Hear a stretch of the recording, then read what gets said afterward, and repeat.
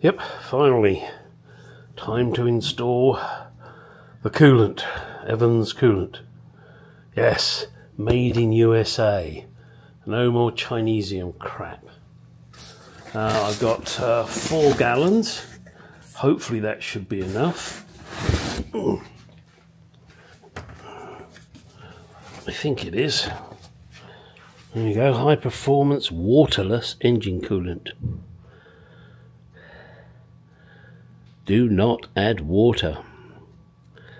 All right, so we should be good to go, and uh, let's let's get on with it.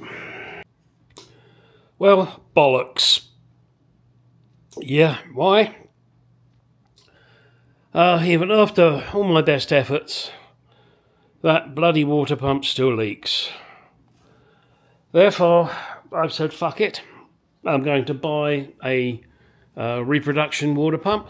I don't care that it's reproduction, as long as it works. And did I buy it from SNG Barratt? Did I fuck? I bought it from Moss. Now, I'm not a lover of Moss, but the price was good and uh, it's a new water pump. It's not um, a rebuilt one. Oh yeah, they'll rebuild you one for six hundred and fifty dollars at Moss, and four hundred of that they say is um, core charge. So you know you have to send them your old one. So that still means they want two hundred and fifty dollars for giving you an old pump uh, you know, they put a rebuild kit in it. Well, the rebuild kits, um, I know, are about fifty bucks. And okay, so there's there's labour, but uh, two hundred dollars of labour. I don't think so, because don't forget you're sending them your old pump, which they'll use to make a new one and sell it to somebody else. So they're saying they will rebuild your pump, $200 labor and 50 bucks for the kit. And don't forget, they're not paying 50 bucks for that kit. They're probably paying 20. So they're charging you $230 to rebuild your pump. And $20 for the kit. Hmm. Such a bargain. Okay. Look at that door handle very, very closely. We follow the chrome stripe along.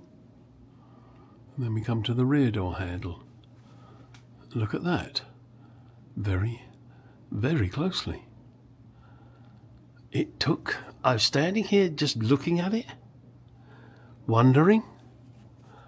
And then I realized this should be the front door handle, and this should be the rear door handle, and obviously the button has to be swapped because this one has the lock. How do I know this? Look at that, that has just got a little angle on it. And this one doesn't. It's it's straight. And I believe I kept all of these together when I took each one apart and cleaned it. I didn't get them mixed up because I had one in a bag and one in a bag and one in a bag. So it's been like that since the day this car was built. I am going to rectify that.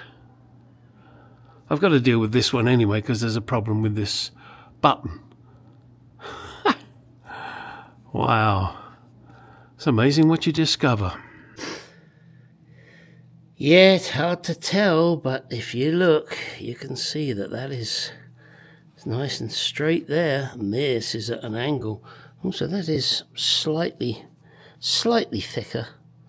Sorry, that's slightly thicker, that one. But yeah, just look at that. I mean, it's, it's minuscule, but it's there. Damn. So do be aware of that when you're putting your car back together. Hey, a nice little trick, and I just caught it. Glad I did that before I put the doors back together. And now you can see, with the handles fitted back onto the car, how much better they look, particularly with the angle on this rear one. Yeah, amazing what you discover. Okay, um, with these door handles, here's a little trick I want to show you, and ignore the size of this bolt. Um, you got to reach in through um, a little hole in the door and get uh, a washer, spring washer, and a nut onto um, a stud that sticks through, and it's not always easy to get to. trick I do is I put them on a spike like this. Then when I reach through, I rest the spike on the end of the stud, and then I can slide the washer down, slide the spring washer down, slide the nut down, and then spin it.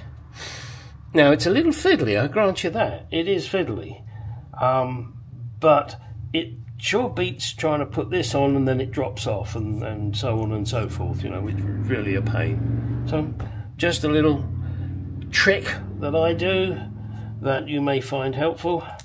You just put your nut, your washer, and your washer on the spike, push it in, and then give it a tilt and they all roll to the end. You do them one at a time, that's what I do. And uh, for extra security, if you like, or extra ease, if you put some grease on the stud, then once you push them on, they won't fall off. But that's up to you.